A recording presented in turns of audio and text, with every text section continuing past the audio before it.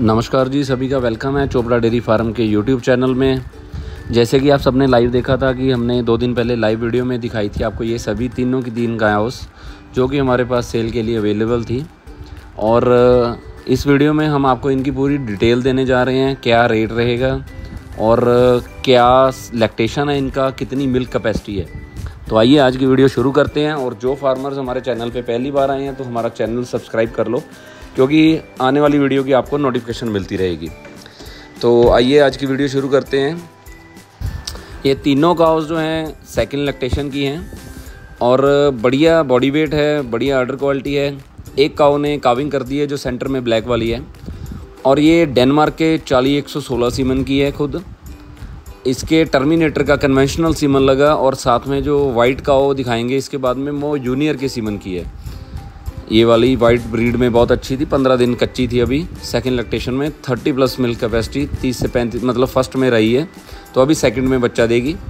और हमारा आप एक चीज़ देख लेना जितना भी हम बताएँगे मिल्क कैपेसिटी उतना ही बताएँगे जितना एनिमल की पावर होगी देने की। हाँ, ये नहीं कि हम पचास लीटर बोल दें तो वो जाके पैंतीस करे ऐसी बात नहीं होगी।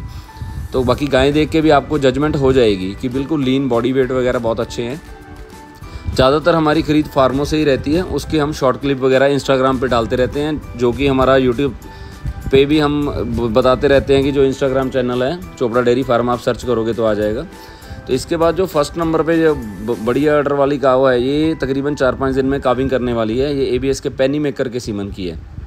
तो इसकी फेस क्वालिटी वगैरह देख लीजिए, कितनी अच्छी वेल है। और ऑर्डर बहुत सुंदर निकाल रही है।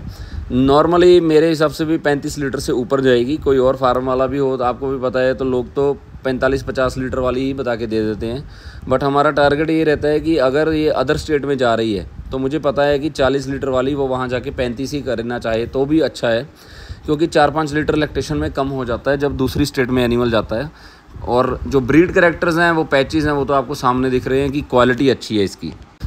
अब जैसे कि आप सभी लोग जानते हैं, अक्टूबर का मंथ मिड आ गया है। अभी तेरह अक्टूबर हो गई है। तो पंद्रह से बीस अक्टूबर के बीच मौसम पूरा बदल जाएगा और ठंडा होना शुरू हो चुका है मौसम। तो इसी बीच में क्या है, हमारी ख़रीदी जो फार्मों से और भी बढ़ जाती है, जो अच्छे हैवी मिलकर काउज़ हैं, जो आपने पिछले दो तीन महीनों में इतनी नहीं देखी होंगी हमारे पास, क्योंकि गर्मी के टाइम पे हम लोग भी अवॉइड करते हैं कि ज़्यादा ट्रैवल ना कराया जाए गायों को, बड़ी गायों को, क्योंकि इनका कैल्शियम लेवल टूट जाता है और एनिमल वहाँ जाके बीमार ना हो जाए। बट अभी ऐसा कोई रिस्क नहीं रहेगा क्योंकि नवंबर, दिसंबर, जनवरी ये ऐसे मौसम आने वाला है ठंडा। क्योंकि आप कभी भी ट्रैवल कराओगे एनिमल को तो मतलब स्ट्रेस की वजह से जो फीवर होता है, बुखार आ जाता है, गर्मी की वजह से तो वो नहीं आएगा ट्रैवलिंग में।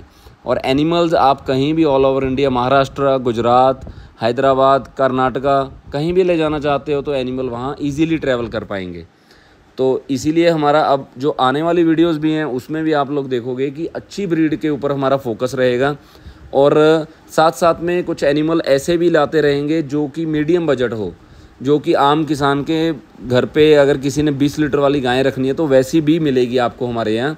ये नहीं है कि हाई लेवल का ही, हाई ब्रीड का ही एनिमल मिलेगा, क्योंकि हाई लेवल ब्रीड अच्छी लेनी है तो डेढ़ लाख तक नॉर्मली बजट आज के टाइम में लग जाता है, कोई बड़ी बात नहीं है।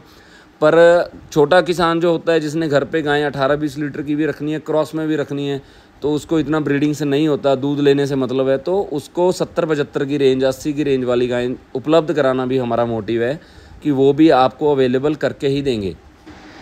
तो बाकी काफ़ी टाइम से हमारी वीडियो नहीं आई थी, क्योंकि इंस्टाग्राम पे चोपड़ा डेयरी फार्म हमारा चैनल है, उसमें शॉर्ट वीडियोस चलती रहती हैं, और जो जो वीडियो हमारी अपलोड होती है फॉर सेल के लिए भी, वो सेल हो जाता है साथ साथ में स्टॉक तो यूट्यूब पे वीडियो बनाने का भी एक तो इतना टाइम मिलता नहीं है।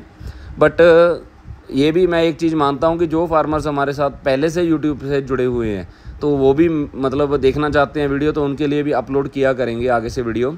तो वीकली हमारा एक दो वीडियो पूरा आएगा इसमें, और एक दो लाइव वीडियोस भी ज़रूर शेयर किया करेंगे।